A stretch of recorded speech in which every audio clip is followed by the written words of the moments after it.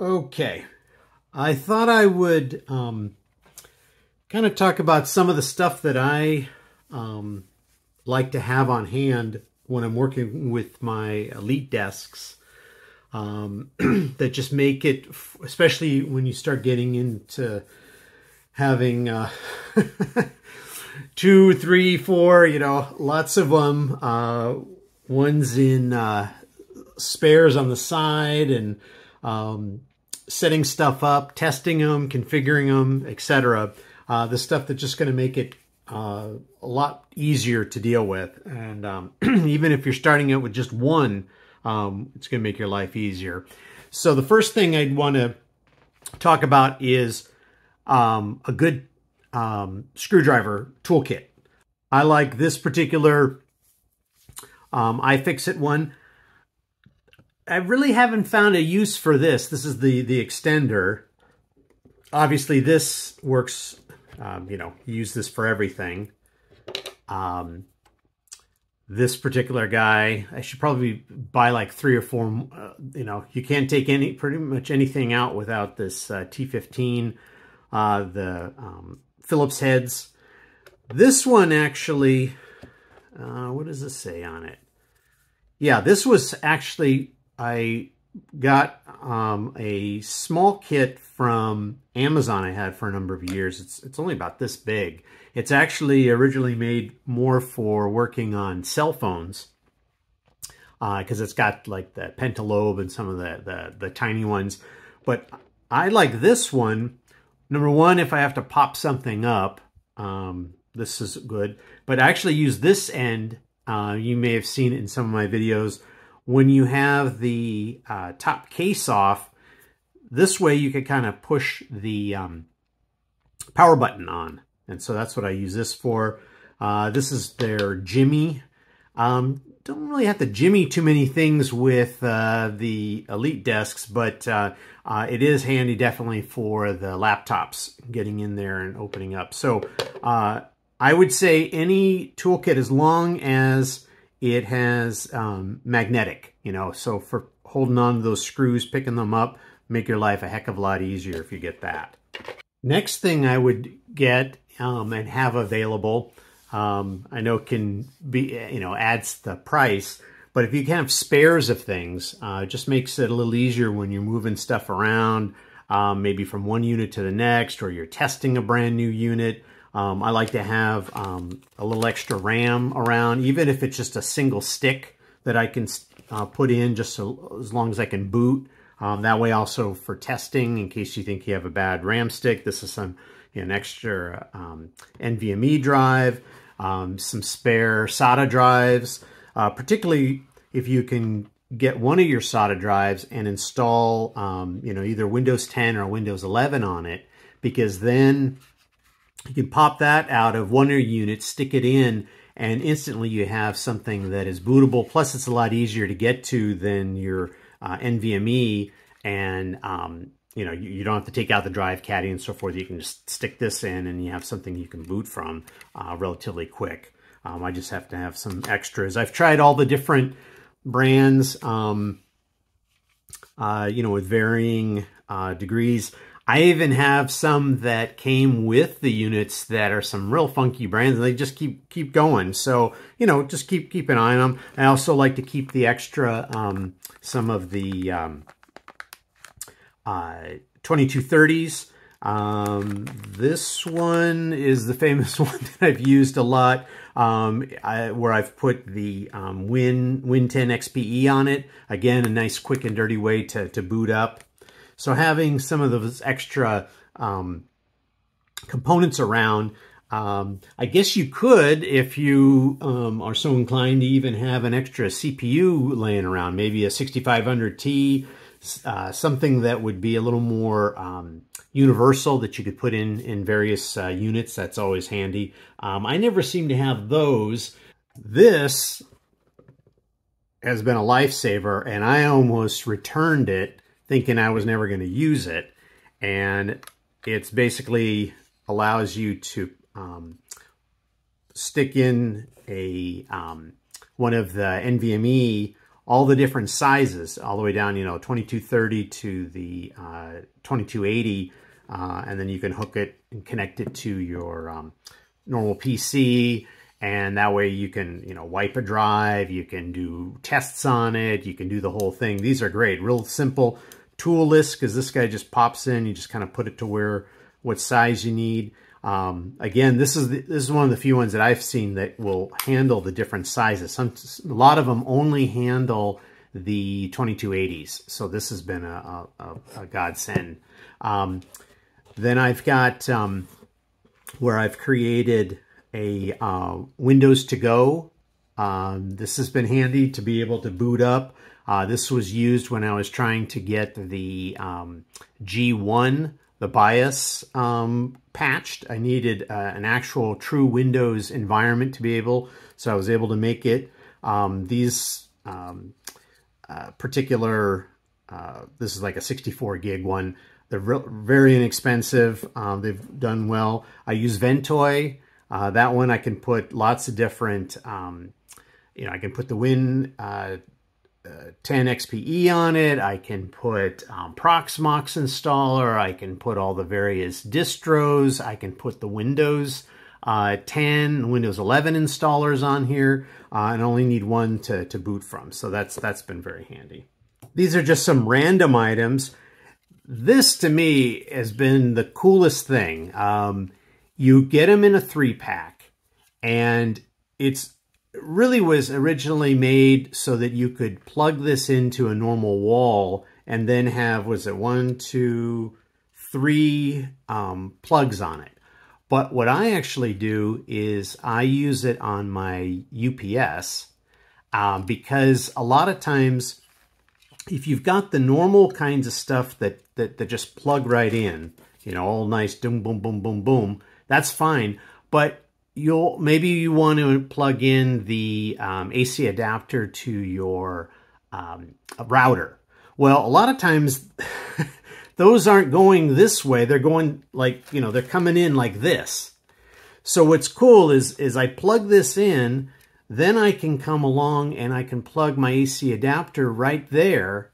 And then that way it doesn't, um, or, or, or put it on the side or, you know, various ways so that that way it helps to reduce having to eat up a um, slot because it, it, you know it, it turns it. It turns it the the was it 90 degrees whatever in order to do it. So these are really cool.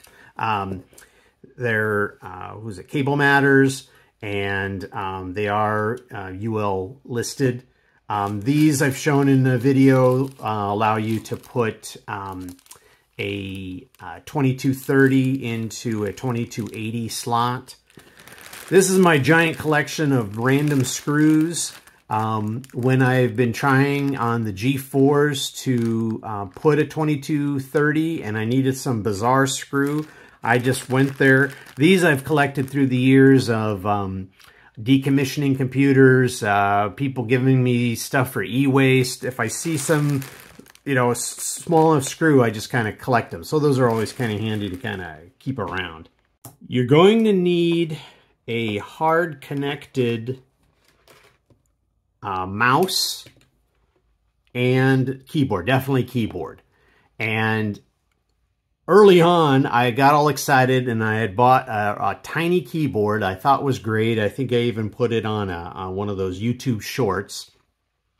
And then when I went to use it, I realized it had no um, function keys. It had no, it didn't even have a delete key or something because I couldn't do a control alt delete. Um, and then I started looking, I had no Windows key. I'm like, oh, that was 10, 12 bucks or whatever down the, down the, the, uh, the drain. So, um, so I kept looking and um, happened to go by the um, Micro Center and they were having a, a, sale on this, and I think I got this for maybe 10 bucks.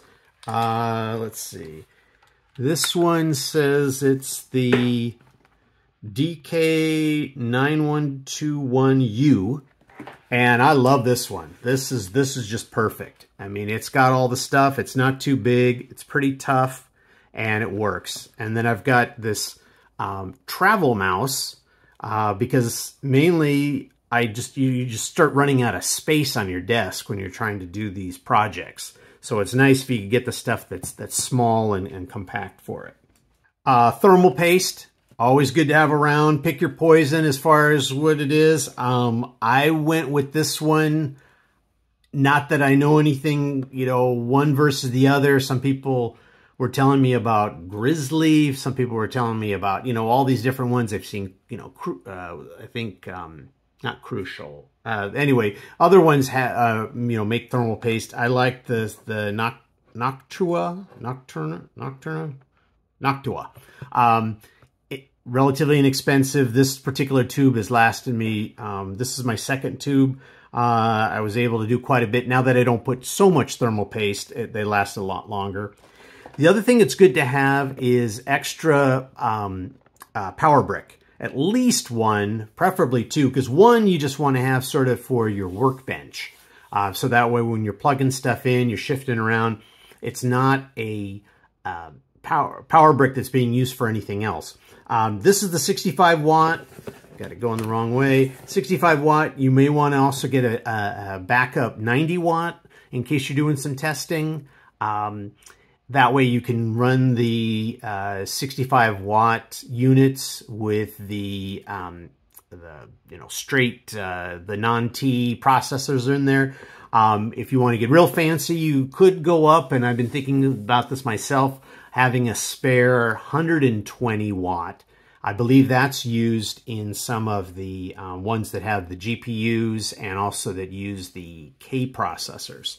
So always good to have extra. Make sure you get the right spec, the exact one in terms of uh, voltage and um, uh, amperage for uh, your unit so that that way, um, I mean, the, the standard one uh, for most units is the 19.5 volt, uh, 3.33 amp.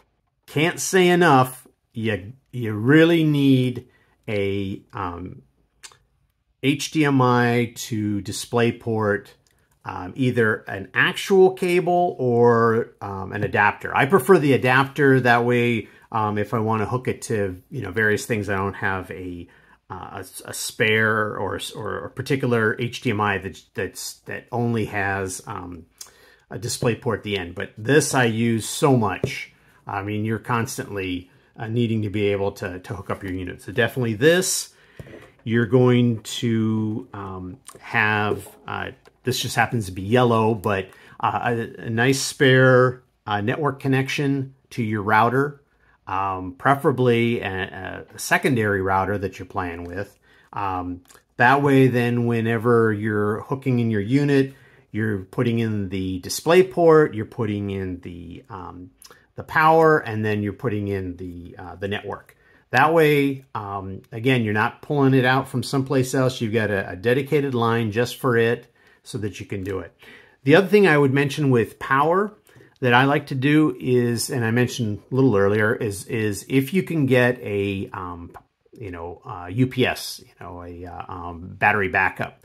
Because if you're there I don't know, upgrading the BIOS or installing Windows, whatever it might be, and you get a power outage, you're going to waste a lot of time. You could fry the board. You could do a lot of things. If you plug in your, um, that, your sort of your workbench, that power adapter into the UPS, you get a power fluctuation. You're not going to worry about it. Okay. Um, one of the last things I would recommend, um, not that exciting to show you, but uh, is a monitor with multiple inputs. Um, I have one that has two HDMI and one uh, VGA. That way, if I have something that's really strange or some partic particular thing and I've got to use VGA, I have that available. My HDMI, I can switch between connecting using, um, you know, this guy and maybe what another computer so that I, you know, if I'm doing research, etc. One thing though is I would recommend is I actually have two monitors that have multiple inputs. And I prefer the one that's a little more, um, I don't know what you call it. It's not as fancy in that it doesn't do auto switching. because what's annoying is you plug in your um, HDMI into your um, you know G2 that you're doing some work on, and you take a little bit of time, and it says, "Oh gosh, I didn't find anything. I'm going to switch back to another one." You kind of want one that's just going to stay there until you physically, through the controls, tell it switch to you know a different input. Um, I just find it a lot lot easier uh, having doing it that way instead of you know again I, I was doing some experimenting early on using the auto switch and it was frustrating. So I like having where it goes directly into it. For removing um, old thermal paste from the CPU and heatsink, you want some um, isopropyl alcohol. And I like to use these. They're actually um, makeup remover pads. And it's nice because it doesn't have a lot of, um, you know, lint and stuff coming off of them. These work really great. Put a little bit of ice, isopropyl, take, take it right off. I probably should have shown this back when I was showing more of the um, stuff having to do with um, the drives. This is also a Sabrent. Um, this particular one um, is kind of handy because if you've got a, uh, a drive uh, a SATA drive and you just want to be able to quickly um, look at it on another one, uh, another computer, uh, it's very easy st sticking the drive in here, um, slips over and just, you know, kind of tightens, put the cable in, you're ready to go. Um, they sell ones that are a little more permanent, whether it's got screws and so forth. This is nice because it's quick and deep, you know, quick and easy to uh, to get in and out. And again, it's handy. Um, sometimes you'll want to do this maybe if you were trying to do a, um, a disk uh, cloning or, or, you know, maybe you want to mount it. I'm sure there's other nifty things I hadn't thought of. Um, if you have your favorite uh, tool accessory, uh, please leave it in the comments. Um, that way to help uh, others uh, um, you know, if there's something that, that uh, I I didn't think of, but uh, you use a lot, especially for your EliteDesk tinkering, please let us know.